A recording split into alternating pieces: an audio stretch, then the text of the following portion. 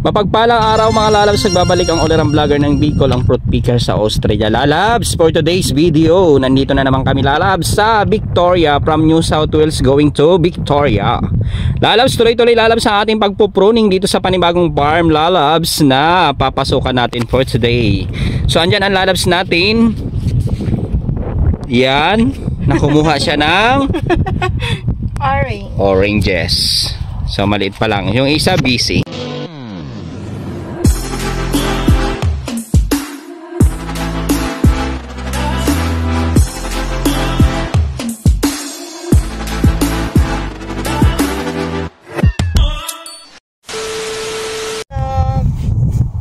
Ayan, busy siya. Ayan lalos kung bago pa lamang sa aking channel, like, comment, share, and subscribe. Inpahit po ng bell button para ma-notify po kayo sa mga video na pinagagawa namin dito sa Australia Lalabs. Ayan, shoutout sa ating mga members dyan sa aking YouTube channel.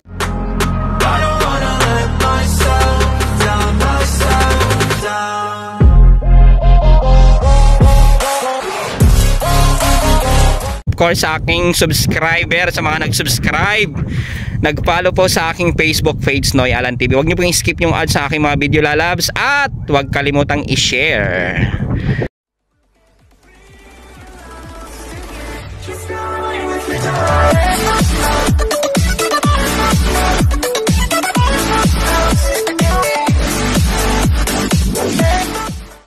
Ito na mga lalabs, ayan na. Relax relax muna mga fruit picker sa Australia dahil lalabs. Natapos na, natapos sa lalabas ang row, ang isang patch pala. Ang bilis! Alam nyo na lalabs, pag, pagkontrata kasi dito lalabs, sumakwento ko lang ng konti. Pagkontrata lalabs dito, ang sekreto kung bakit lumalaki ang kita ng mga fruit picker dahil pabilisan. Kailan mabilis tayo makagawa ng isang puno kasi lalabs, itong isang row na ito lalabs, kung hindi nyo po maitatanong, $80 lalabs. $80 ang isang row na kailangan mo matapos. So of course, kailangan mo may kapartner para hindi ka na paikot-ikot sa kabila. Although mataas siya lalabs, meron naman tayong katulong, katuwang sa buhay. Katulad nyo. Meron tayong looper at meron tayong gunting na malilit na gagamitin natin. So ando na mga lalabs natin, pupuntahan natin sila lalabs para tumulong tayo sa kanila. Dahil wala pang may-ari nag-aantay pa kami. At yung iba mga lalabs natin dyan ay busy ang mga person. Naghahanap buhay sila gumagawa din sila ng reels. Lalabs supportahan nyo po. Mary Ann Luwansing ipala nyo po ang kanyang Facebook page. And Janine Luwansing Lalabs. Facebook page Lalabs wag nyo po. Ayon sa mga supporters natin dyan Lalabs palike naman Lalabs and pa-share ng kanila mga video ito na mga lalabs, tutulong tayo sa huling row na ginagawa ng mga Pilipino, mga Pinoy fruit picker. Today is Sunday lalabs, wag po natin kalimutan sa may mga time dyan, wag po natin kalimutan magsimba. Sapagkat datapwat subalit kailangan natin pasalamatan ang Panginoon.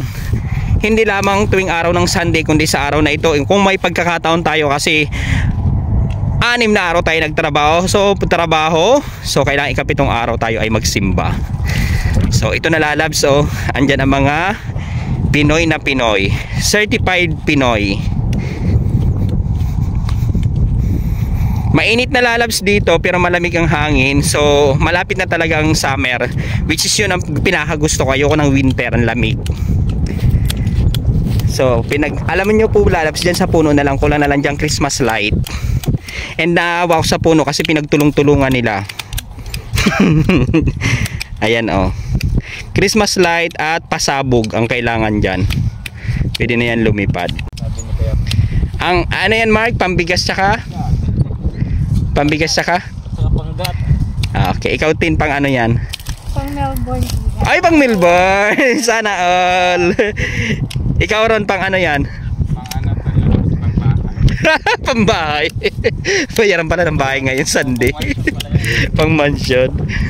Ito lalabs konti na lang. Lalagay ko ng bahay sa chocolate hills. Oo nga, di pa ako nakakarating doon.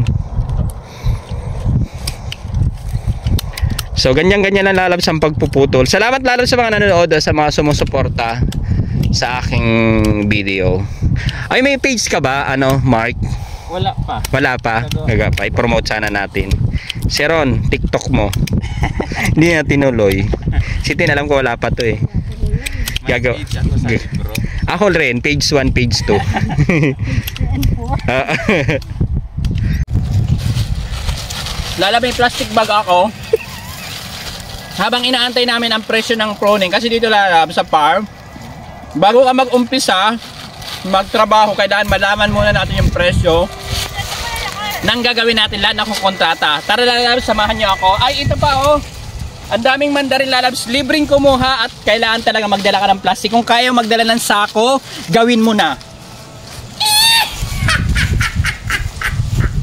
Ito lalabs oh, mandarin. Nako, yung mga anak ko kung nandito, alam mo naman, nalahi kami ng gorilla. Talagang, ito na oh, kala mo ako may-ari. Sorry. Pasintabi po mga ano dyan, duwende. Kayo na, kayo na. Yung Marco. Kayo na lang ang tumabi dyan ha. Hindi joke lang. Kala mo ano? Kala mo kontrata ng mga madali ka po. Kala mo kontrata. Kala mo magbabayad. Pero nagnanakaw lang. Ganito kami lalab sa farm namin.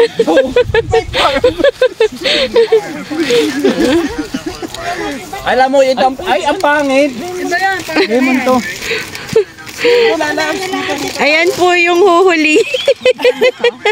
Ngayon ikaw po wala pong take away. Ayan po. Ayan po yung mga magti-take out ng mandarin. Lalabs, ito pa lang ang nakukuha ko. Ayan si Marco. Matinik na mag... Ah, ah. ano? mag...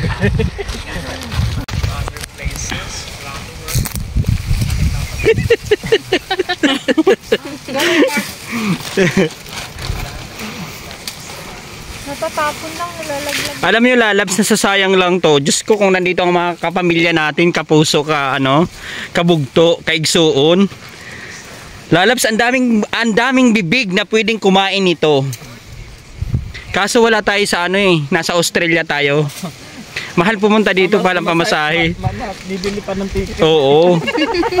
Bago pa maka-approve sa visa. Mm Bago pa makalusot sa Dahil na, ang dami lalabs oh. Talagang kukunin natin sa kaya Oo naman. parang nabili lang sa alma. sa kanila kay ano, kaya. Hindi. Oo nga. Ay, ang dami. Maganda yung mukha, maganda, masarap din. Oh, yung isa taga buka ng ano plastic, yung isa taga kuha. Ah, ano to, pasyaron to ha? Ah, ah, pasyaron mo ta. Muna. Lalabs, natulala kami sa nangyari. Alam niyo po kung bakit? Ang haba ng row. 180 row. Kumpara dun sa ginawa namin, mababa lang siya tapos mainam, maraming bungi. Pero dito talagang kumpleto, buti pang ngipin, may bungi. Ito yung row, wala. Tapos ganun kahaba. So tatlo kami nagtulong-tulong, hindi namin natapos yung ano, yung nag-umpisa kami ng alauna yata yun o 12:45. So andyan ang mga tulala lalabs ang mga lalabs natin. Kanina pa. lalabs sa pagod kami. Today is Sunday, so kailangan natin umuwi ng maaga kasi magsisimba pa tayo online. Ayan lalabs, maraming maraming pong salamat sa patuloy na pagtutok at panonood ng aking mga vlogs. Huwag po natin kalimutan umiti at magpangiti ng kapwa. Have a good day and God bless everyone!